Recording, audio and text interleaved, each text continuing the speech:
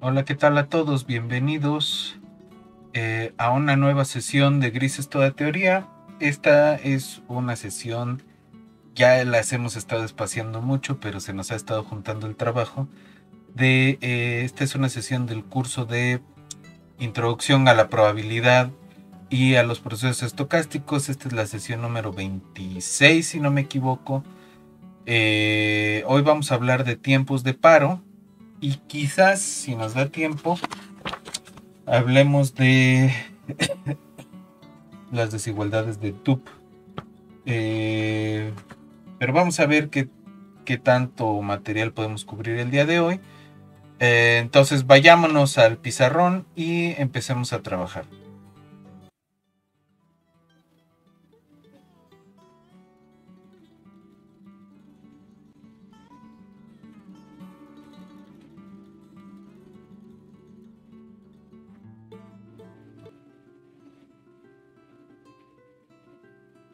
Ok. Eh, pues vamos a hablar de tiempos de paro.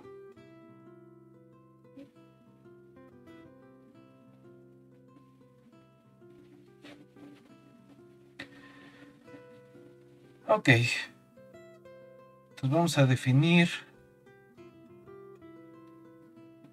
eh, las variables aleatorias que vamos a llamarles tiempos de paro una variable aleatoria.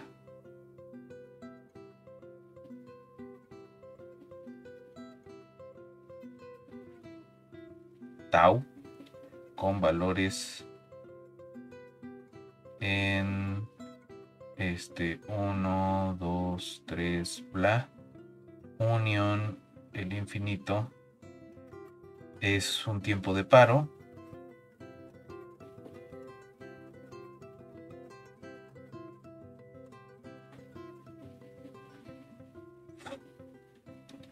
para la filtración o respecto a la filtración.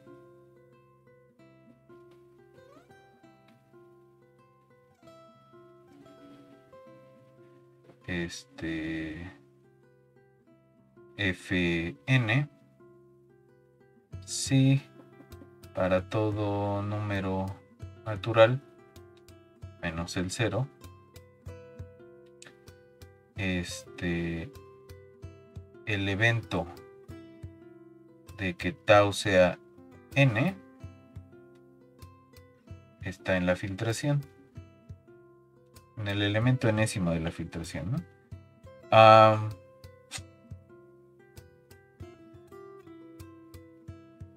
Eh, aquí quiero hacer una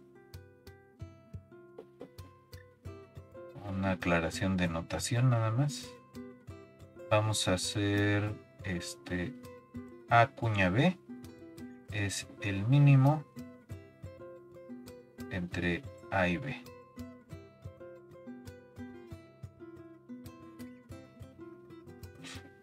Entonces, otra definición.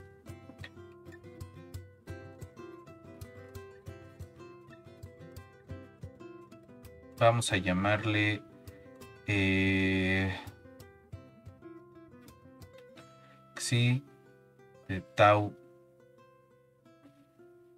cuña n es la sucesión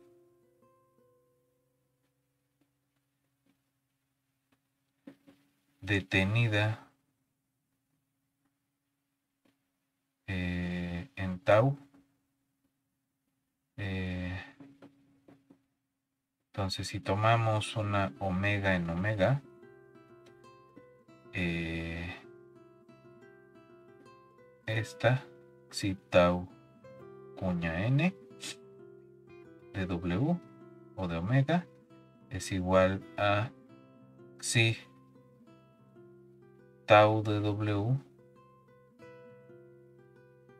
cuña n en w. Ok, entonces vamos a ver un resultado respecto de esto.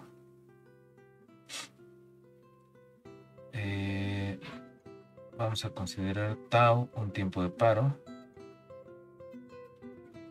Este tau, tau es tiempo de paro. eh, tiempo de paro. Eh, y vamos a ver que primero, si, si n es martingala,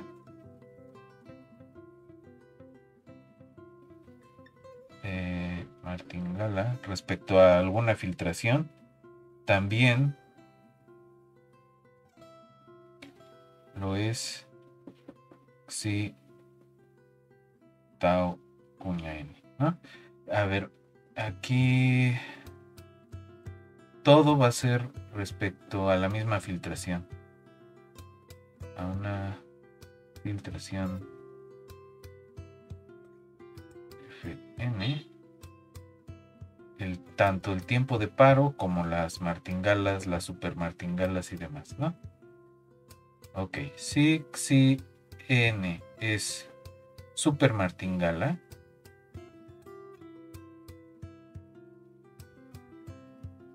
también lo es. Xi tau cuña n y lo mismo para las submartingalas.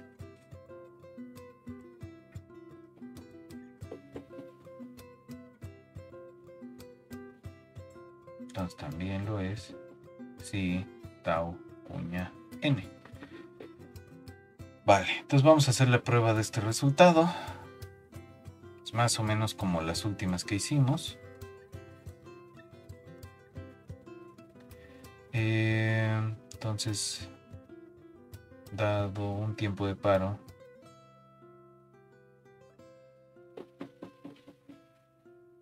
tau, hacemos alfa n que sea 1 si tau se pasa de n o 0 si tau queda más chiquito que n. Entonces, afirmamos que esta alfa n es estrategia de juego.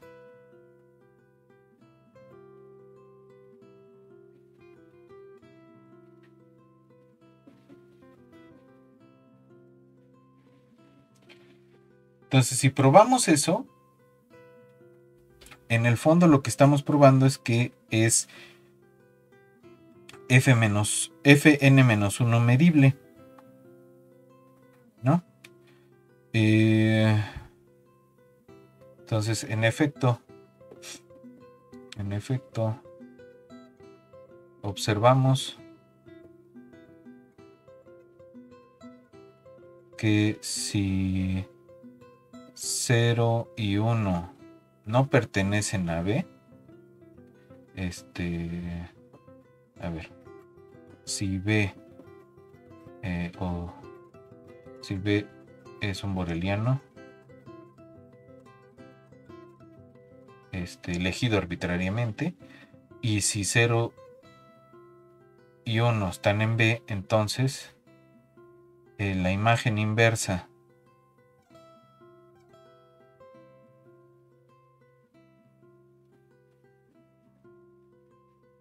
de B es el vacío que sí está en Fn-1. Si 0 eh, y 1 están en B, pertenecen a B, entonces este, la imagen inversa de B es omega, que también está en el Fn-1. Así que alfa n es f n-1 medible. Eh,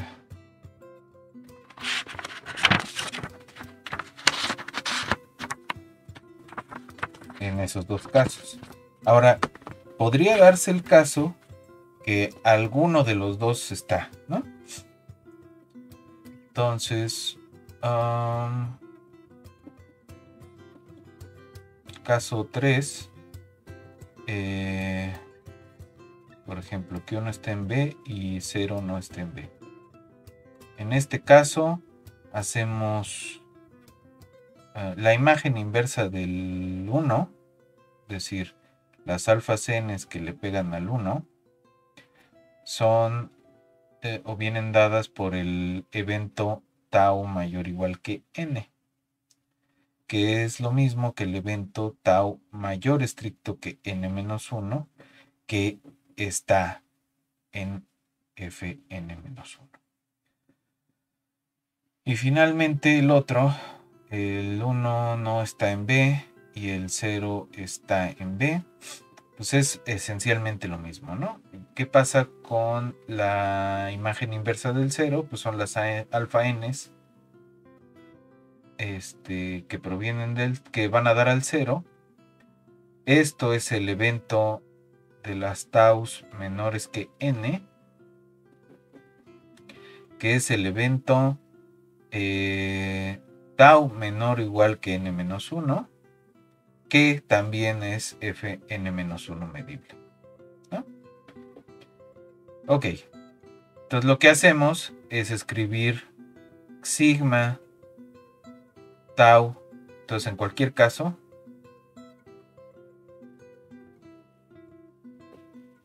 alfa n es fn menos 1 medible.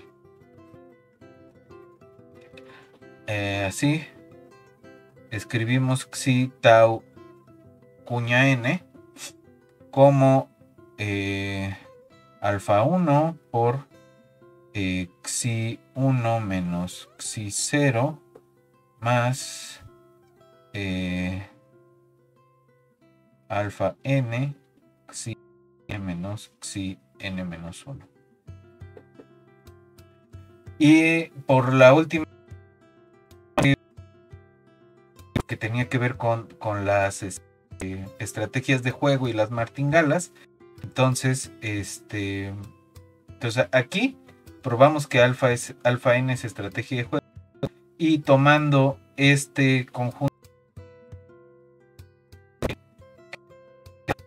eh, que da mostrado el resultado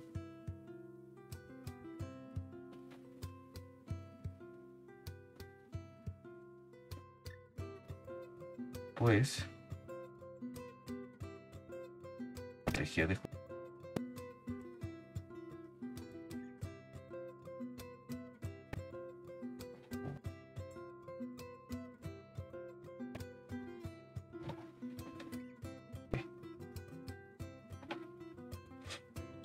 Entonces, vamos a ver un resultado más, que es el teorema del paro opcional.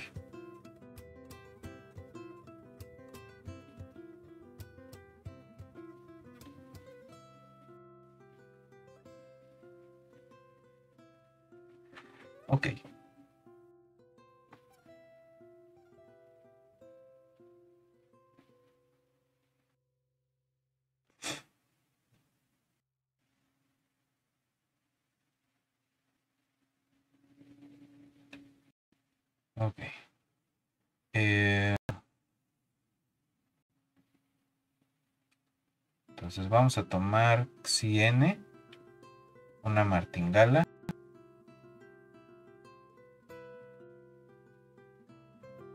y tau, un tiempo de paro, ambos respecto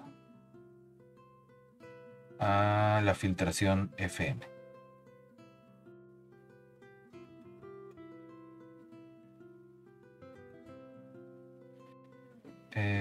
Eh, tal es que vamos a ponerle tres condiciones. La primera es que tau es finito, casi seguramente.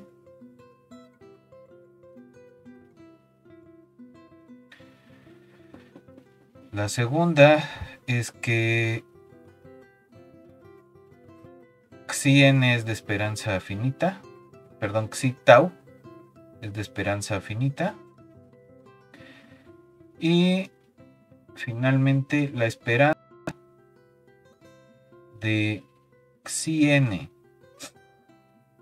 por la indicadora eh, de el evento tau mayor igual que no mayor estricto que n eh, tiende a cero cuando n tiende a infinito. Si estas tres condiciones se cumplen, entonces eh, lo que vamos a tener es que la esperanza de xi tau es la esperanza de xi 1. Vamos a hacer la prueba.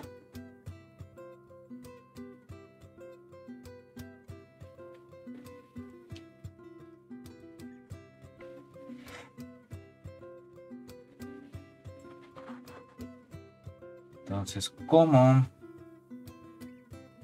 si tau es si tau cuña n más xi tau menos xi n por la indicadora de tau mayor que n,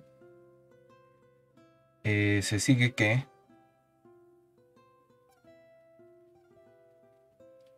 la esperanza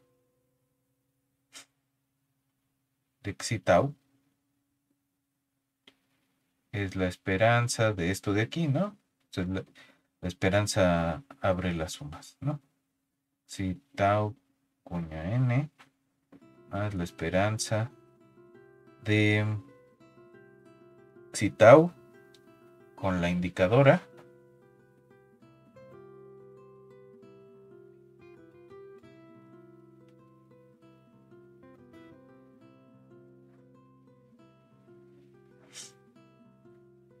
menos la esperanza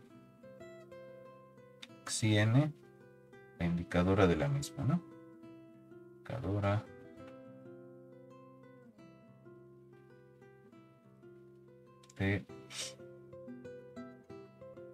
tau mayor que.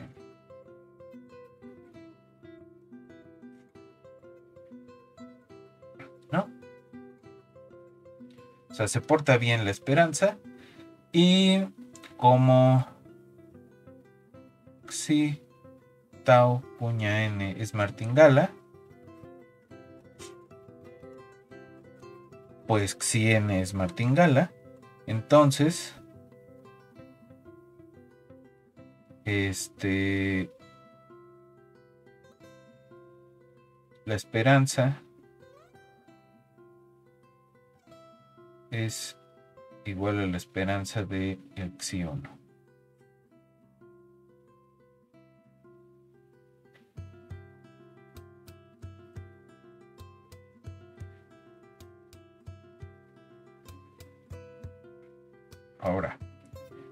Eh,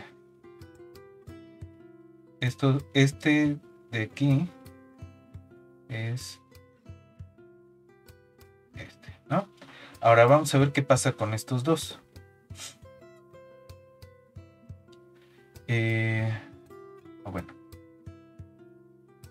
Vamos a ver qué pasa con estos dos. La suposición 3 nos dice que eh, la esperanza va a tender a cero cuando la n es muy grande, ¿no? Entonces,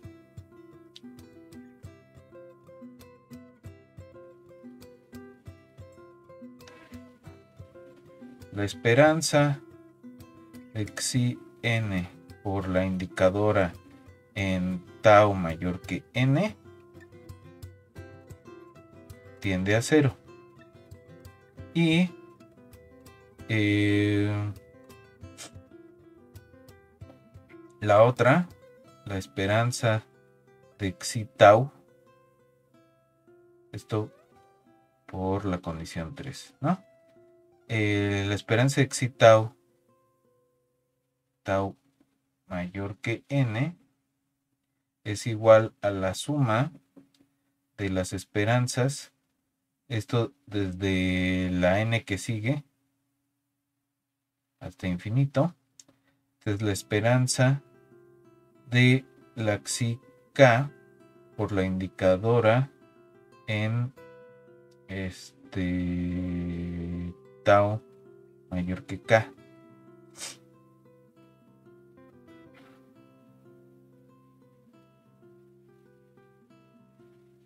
Pero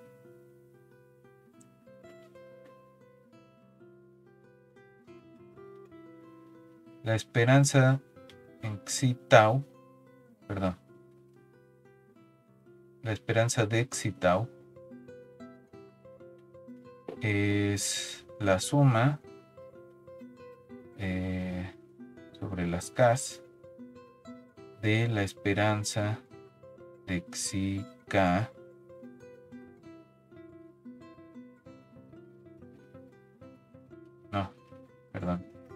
ya lo escribí eh,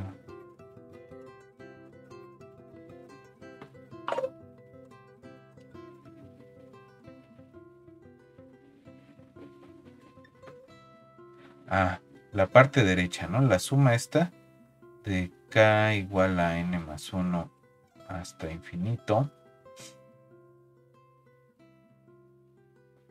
de xi k por la indicadora de tau mayor que n tiende a 0, pues este, la suma desde que k es igual a n más 1 hasta infinito de xi K por la indicadora de tau igual a n,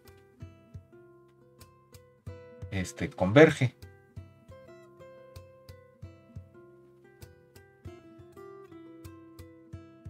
Entonces, como esta converge, la otra va a tender a cero y,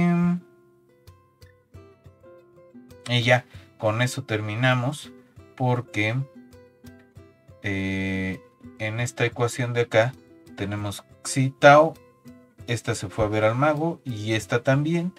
Entonces xi tau igual a xi tau cuña n que es xi 1. Entonces la esperanza de xi tau es la esperanza de xi tau cuña n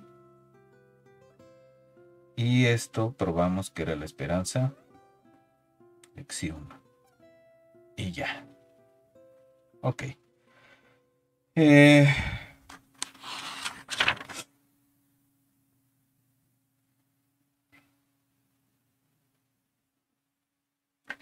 entonces, eh, lo que sigue, eh, vamos a pensar en la clase de martingalas que vamos a escribir de la forma x xn igual a la esperanza de xi dada fn, ¿no? con esperanza condicional. Eh, y xi es el límite de la. Eh, y la esperanza de sí es finita. Entonces, sí es una variable aleatoria de esperanza finita y fn es una filtración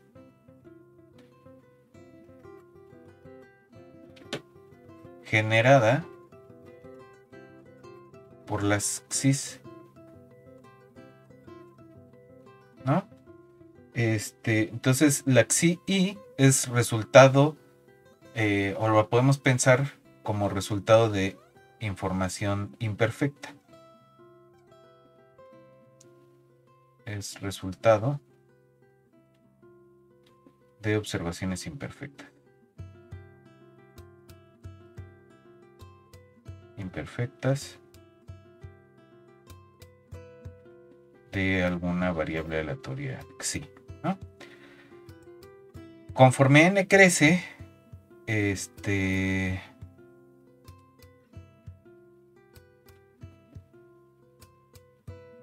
fn, que representa eh, el conocimiento acumulado.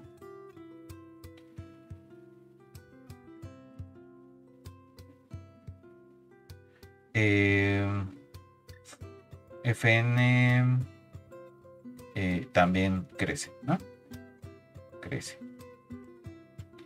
Y si N es una mejor aproximación para sí. Eh, decir, mientras más experimentos aleatorios llevemos a cabo, más información obtenemos y más cerca estamos de conocer la XI.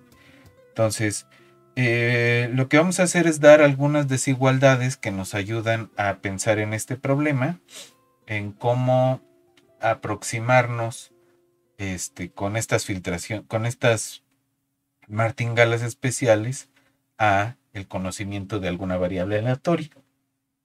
Entonces, pero por hoy eh, le vamos a dejar aquí y nos vemos en una siguiente sesión.